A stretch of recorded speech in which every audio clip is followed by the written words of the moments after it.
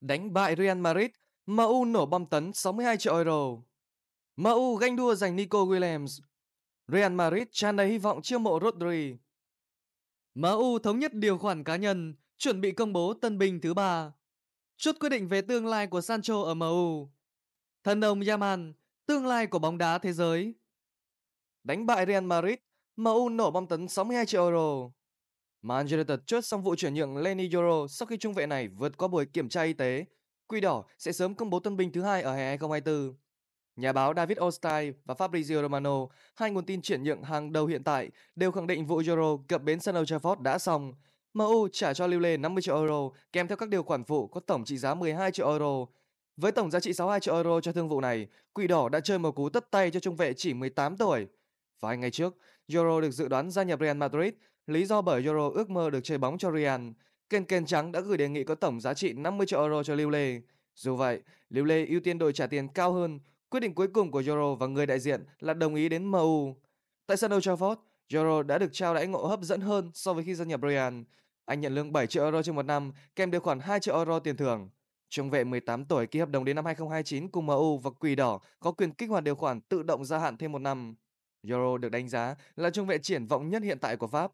Anh chơi trận chuyên nghiệp đầu tiên ở Ligue 1 khi chỉ 16 tuổi. Mùa 2023-24, Euro có bước tiến vượt bậc khi ra sân 44 trận trên mọi đấu trường. Tân binh của MU cao 1m9, được nhận định có lối chơi tương đồng với Rafael Varane. Điểm mạnh nhất mà Euro thể hiện trong màu áo lưu lê là khả năng đọc tình huống, cắt bóng quyết liệt. Euro chơi không chiến tốt và có kỹ năng chuyển bóng đa dạng, do đó là phương án lý tưởng để thay thế cho chính Varane ở MU. Sau khi MU chiêu mộ Euro, khả năng Matisse để lại cập bến Old Trafford bị bỏ ngỏ. Trước đó, De Ligt mới là cái tên được nhắc đến nhiều nhất về kịch bản gia nhập MU. Theo Sky Sport, huấn luyện viên Ten Hag muốn bán một trong hai Harry Maguire hoặc Victor Lindelof để dọn đường cho trung vệ mới. Khi đó, khả năng De Ligt đến MU có thể xảy ra. MU ganh đua giành Nico Williams. Truyền thông Tây Ban Nha đưa tin có 4 đội bóng, trong đó có 3 cái tên tới từ ngoài hàng Anh, đang dành sự quan tâm đặc biệt cho cầu thủ chạy cánh Nico Williams sau một kỳ Euro 2024 thành công với chức vô địch. Williams là sự lựa chọn đầu tiên của huấn luyện viên trưởng đội tuyển Tây Ban Nha Luis de la Fuente ở vị trí tiền đạo cánh trái trong suốt chiến dịch Euro 2024. Cầu thủ 21 tuổi đã có một loạt màn trình diễn ấn tượng khi La Roja tiến tới trận chung kết và giành chiến thắng trước Anh với tỷ số 2-1 vào đêm chủ nhật.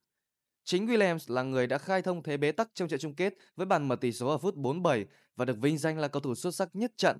Sau khi Euro 2024 kết thúc, tương lai của Williams có thể sẽ là chủ đề được quan tâm nhất trong thời gian tới. Theo Talksport đưa tin, có 4 đội bóng muốn bổ sung Williams vào đội hình của họ. Gã khổng lồ của La Liga, Barca là đội bóng đầu tiên đánh tiếng muốn có sự phục vụ của Williams. Ngoài ra, ba ông lớn ở Premier League là Liverpool, Arsenal và Chelsea cũng đang chạy đua giành chữ ký của cầu thủ chạy cánh của Bilbao. Nguồn tin này cũng nhấn mạnh Barca hiện là đội bóng được yêu thích nhất để có được chữ ký của cầu thủ 21 tuổi này vì họ muốn tái lập mối quan hệ của anh với Lamine Yamal.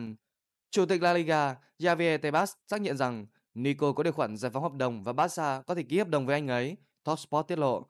Tebas cho biết, bạn phải nghĩ rằng với nỗ lực của Barca nhằm giảm quỹ lương của họ xuống dưới 200 triệu và các biện pháp khác đã diễn ra trong câu lạc bộ và không liên quan gì đến đòn bẩy, họ hoàn toàn có thể đưa về một cầu thủ như Nico Williams.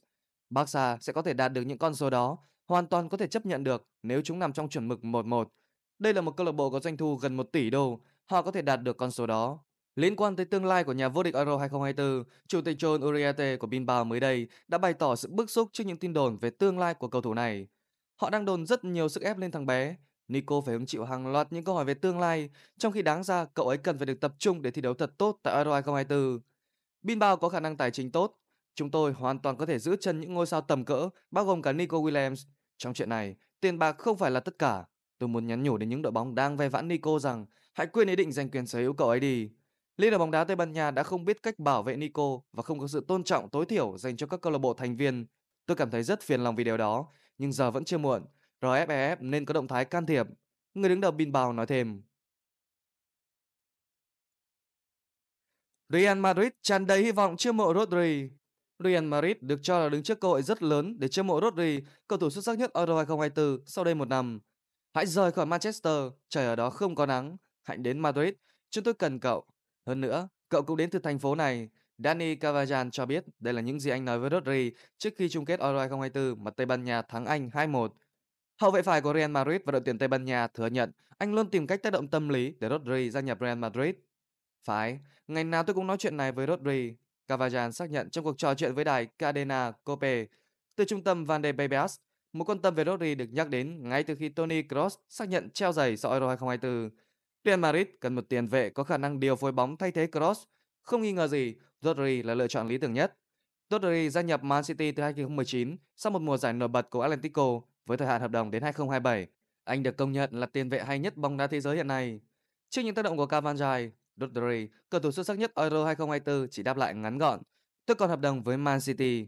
Không dễ để Real Madrid đưa Rodri về lại thủ đô Tây Ban Nha ngay trong mùa hè năm nay. Tuy vậy, đội ngũ cố vấn của chủ tịch Florentino Perez tin tưởng thành công vào năm tới. Chìa khóa cho niềm tin là Pep Guardiola, người có ảnh hưởng rất lớn đến sự thăng tiến của Rodri trong thời gian thi đấu ở Anh. Pep Guardiola hết hợp đồng với Man City vào tháng 6 năm 2025. Nhà cầm quân xứ Catalonia nhiều lần bóng gió về cuộc chia tay khi ông đã có mọi thứ ở sân Etihad. Mùa hè 2025, Real Madrid cũng chia tay Luka Modric, người vừa hoàn tất gia hạn thêm một năm, ngay sau lễ ra mắt của Kylian Mbappe khi tiền vệ đội trưởng Croatia đứng trước ngưỡng cửa tuổi 40. Chiêu mở Rodri hè năm sau cũng mở ra một giai đoạn mới về phong cách bóng đá ở sân Bernabeu. Tiền bạc chưa bao giờ là vấn đề với Real Madrid trong nhiệm kỳ Florentino Perez. Los Blancos là đội duy nhất không bị giới hạn quỹ lương ở La Liga tác động và đặc biệt hơn khi ký Mbappe dạng miễn phí. Ở Bernabeu, chiếc áo số 16 cũng được dành riêng cho Rodri trong tương lai. Đây là chiếc áo quan trọng với những cầu thủ có ảnh hưởng lớn như Emilio Butragueno, Juanito, Fernando Hierro và Casemiro. Huyền thoại Raul Gonzalez cũng mặc áo số 16 khi ra mắt mùa 1994-95. MU thống nhất điều khoản cá nhân, chuẩn bị công bố tân binh thứ ba. MU thống nhất điều khoản cá nhân với ngôi sao Paris Saint-Germain Manuel Ugarte trong lúc Scott McTominay hoặc Casemiro có thể rời Old Trafford. Tờ Daily Mail của Anh đưa tin Manchester United đã thống nhất các điều khoản cá nhân với ngôi sao Paris Saint-Germain Manuel Ugarte về việc chuyển đến Old Trafford. Manchester United đang đẩy mạnh chiêu mộ các tài năng từ giải League 1 sau khi mua thành công trung vệ Lenny Yoro từ Lille. Quỷ đỏ đang nhắm đến mục tiêu tiếp theo là tiền vệ Manuel Ugarte của Paris Saint-Germain. Tiền vệ người Uruguay Ugarte có chung người đại diện với Yoro là siêu cỏ Jorge Mendes. Các điều khoản hợp đồng giữa MU và Ugarte đã được thống nhất với việc Ugarte muốn chuyển nhượng ngay cả khi MU không được tham dự Champions League. Thông tin từ chuyên gia chuyển nhượng Fabrizio Romano. Tuy nhiên, tờ Daily Mail của Anh cho biết hiện tại vẫn chưa có thỏa thuận nào giữa hai câu lạc bộ và Paris Saint-Germain sẽ không bán Ugarte với giá dưới 59 triệu bảng Anh. Cầu thủ 23 tuổi này mới chuyển đến Paris với hợp đồng trị giá 42 triệu bảng từ Sporting Lisbon vào mùa hè năm ngoái. Paris Saint-Germain vẫn chưa chắc chắn liệu họ có muốn bán một cầu thủ phù hợp với chiến lược xây dựng một đội bóng trẻ trung mà không có tên tuổi siêu sao hay không. Các cuộc đàm phán giữa hai câu lạc bộ vẫn đang tiếp tục nhưng hiện đang ở giai đoạn đầu, bất chấp MU thống nhất điều khoản cá nhân với Ugarte. Một rào cản khác đối với MU và đội tuyển dụng của Ineos là sự cạnh tranh từ các câu lạc bộ châu Âu và Premier League khác. Cụ thể, ngoài MU còn đến 4 câu lạc bộ quan tâm đến việc chiêu mộ Manuel Ugarte.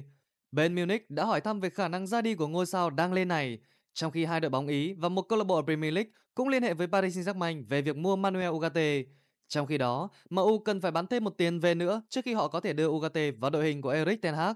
Scott McTominay, người đã ghi 10 bàn thắng trên mọi đấu trường cho MU mùa giải trước, là một trong những cầu thủ có thể nhường chỗ cho sự xuất hiện của Ugarte. Tiền vệ kỳ cựu người Brazil Casemiro cũng có thể ra đi sau mùa giải thứ hai khó khăn tại Old Trafford khi MU kết thúc ở vị trí thứ 8 tại Premier League. Hiện MU đang bận rộn trên thị trường chuyển nhượng mùa hè. Quỷ đỏ đã hoàn tất hai bản hợp đồng vô cùng trong vánh là Joshua Zirkzee và sau đó là Lenny Joro. Joro vừa chính thức ký hợp đồng với MU từ Lille với giá 52 triệu bảng Anh vào đêm qua, ngày 18 tháng 7 theo giờ Anh. Chốt quyết định về tương lai của Sancho ở MU. Jadon Sancho khả năng sẽ tiếp tục gắn bó với MU sau khi kỳ chuyển nhượng mùa hè năm nay khép lại.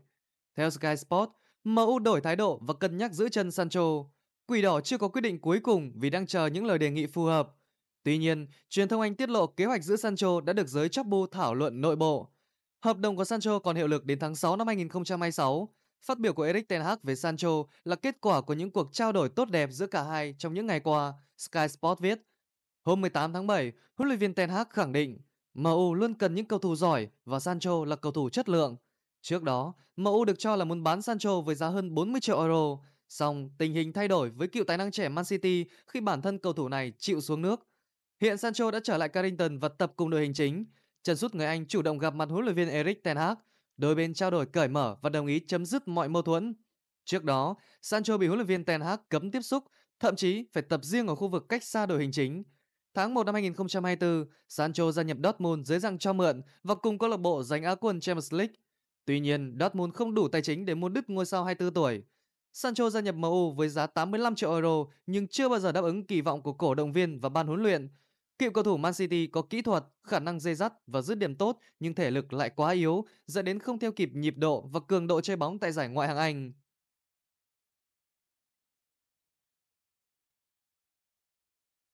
Thần đồng Yaman, tương lai của bóng đá thế giới. Xuyên suốt chiều dài lịch sử bóng đá, không có nhiều cầu thủ trẻ để lại những màn trình diễn ấn tượng như Lamine Yamal. Trước trận bán kết Euro 2024, hậu vệ trái Theo Hernandez của tuyển Pháp được nhà báo Bin Connelly thuộc ESPN miêu tả là cầu thủ hay nhất giải đấu. Điều đó đến từ khả năng công thủ toàn diện, đặc biệt tỷ lệ thắng tranh chấp tay đôi lên tới 67%. Suốt 90 phút chạm trán Tây Ban Nha, Theo Hernandez phần nào làm giảm sức tấn công của Yaman, cầu thủ chạy cánh xuất sắc từ đầu giải. Cần nhớ rằng trong giai đoạn trận đấu trước đó gặp Georgia và Đức, thần đồng người Tây Ban Nha có 9 cú sút, tạo ra 9 cơ hội, 29 lần kéo bóng, 3 lần qua người thành công trong vùng cấm. Một thống kê đáng kinh ngạc với cầu thủ tuổi tin. Những gì Yaman làm được. Khép lại màn thư hùng giữa Pháp và Tây Ban Nha, Yaman có 3 cú sút, tạo ra hai cơ hội, 5 lần kéo bóng.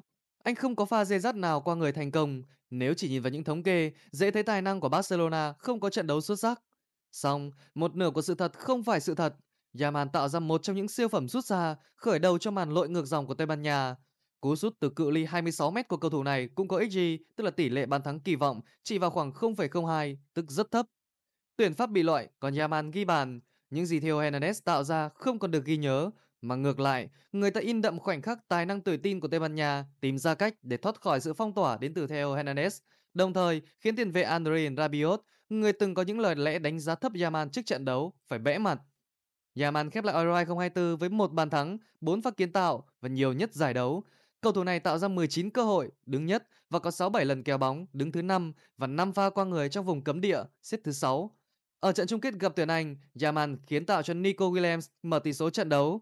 Ban tổ chức bình chọn Rodri là cầu thủ hay nhất giải, nhưng Yaman có màn trình diễn ấn tượng không kém. Một cầu thủ như vậy phải được tăng lương và cần nhớ rằng đó mới chỉ là chàng trai trẻ vừa kỷ niệm sinh nhật lần thứ 17 hôm 13 tháng 7 tức suốt hành trình giành chức vô địch Euro 2024 của Tây Ban Nha, Lamin vẫn còn ở tuổi 16. Gần đây, truyền thông Tây Ban Nha đưa tin siêu cò Jorge Mendes thúc giục Barcelona nâng thu nhập cho Yaman, người chỉ nhận khoảng 27.000 bảng trên một tuần. Song, với một giải đấu rực sáng đã đủ thuyết phục ba lãnh đạo câu lạc bộ xứ Catalonia ra quyết định. Câu trả lời là có. Yaman chỉ vừa sang tuổi 17. Trong cơ sở dữ liệu của Stat Perform được thống kê từ năm 2010, trong đó bao gồm cả giải World Cup 2010 đến 1966, Người hâm mộ không tìm thấy trường hợp nào từng làm được những điều phi thường như Yaman. Thời gian qua, bóng đá nổi lên tài năng trẻ Jude Bellingham. Dù vậy, ở tuổi của Yaman thì tiền vệ người Anh hoàn toàn mơ nhạt. Khi Yaman 16 tuổi, bản thân đã chơi cho Barcelona, thi đấu 2.200 phút ở La Liga. Trong khi đó, Bellingham năm 16 tuổi vẫn còn khoác áo Birmingham City tại giải hạng 2 nước Anh. Chỉ tới khi gia nhập Real Madrid vào hè 2022, Bellingham mới nhảy vọt thành tích, ghi bàn và kiến tạo. Wayne Rooney cũng từng là cầu thủ nở rộ tài năng rất sớm. Premier League mùa 2002-2003 mũi nhọn này ghi 6 bàn và 4 kiến tạo cho Everton. Khi ấy, Rooney đã bước sang tuổi 17. Còn với Yaman, thần đồng này ghi 5 bàn và có 5 kiến tạo tại La Liga. Ở Champions League, Supercopa, Liga Espana và Copa del Rey, mỗi quan sinh năm 2007 sở hữu thêm hai pha lập công cùng hai kiến tạo. Có lẽ người ta phải quay ngược thời gian về quá khứ, lục hết những thống kê về thời của Pele để xem đã có cầu thủ nào tạo được những thống kê ấn tượng như Yaman ở tuổi 16 chưa. Giới chuyên môn cho rằng Yaman quá may mắn khi được chơi cho Barcelona, lại xuất hiện ở thời điểm câu lạc bộ xuất hiện quá nhiều ca chấn thương. Điều này khiến huấn luyện viên Xavi Hernandez, người rời đi sau mùa 2023-24 khép lại, không còn lựa chọn nào khác ngoài việc phải đặt niềm tin vào cầu thủ trẻ này. Tuy nhiên, Yaman đã tận dụng rất tốt thời cơ để chứng minh giá trị. Sau 2.881 phút thi đấu trên mọi đấu trường, thần đồng người Tây Ban Nha đạt tỷ lệ kiến tạo kỳ vọng XA ở mức 8,6, nhiều thứ hai trong đội, tạo ra 49 cơ hội, đứng thứ ba và có 7 pha kiến tạo, xếp thứ tư và qua người thành công 21 lần trong vùng cấm, nhiều hơn gấp đôi so với bất kỳ cầu thủ nào khác tại Barcelona. Trong làng bóng đá thế giới, Yaman không phải là cầu thủ chạy cánh duy nhất có tài.